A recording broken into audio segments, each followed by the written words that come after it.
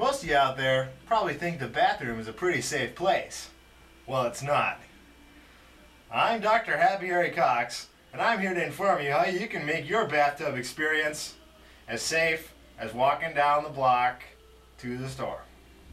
First of all, stay away from these protruding uh, tile arrangements. You can easily hit your head on there. Let me tell you a story about a kid once.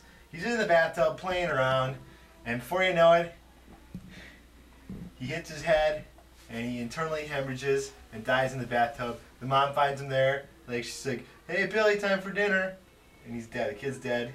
He's he looks like he looks like a goddamn bloated chicken lying in the bathtub.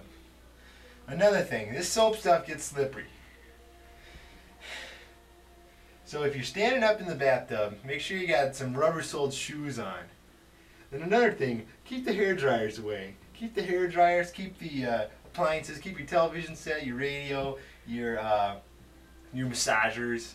Uh, uh, keep just about everything away from the bathtub, except for you. Because when you're clean, you're safe.